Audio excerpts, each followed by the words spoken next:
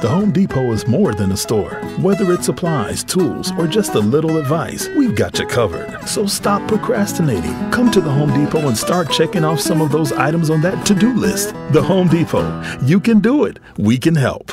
What's the next best thing to racing for the Winston Cup? Downshifting to NASCAR Online. Log on anytime and get all the latest news, up to the second standings, and in depth track analysis. And during the race, find out instantly your favorite driver's position and how the track is running. You can even listen in as drivers radio to their pit crew live. When you think of Atlanta Bread Company, don't just think bread.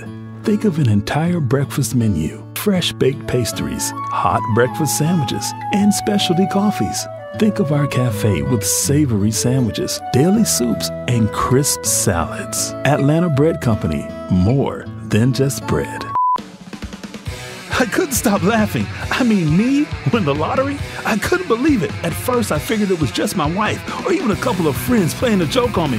But when they gave me the money, well, then I knew it was for real. I've been playing those same numbers for about two years, and wow, it really can pay off.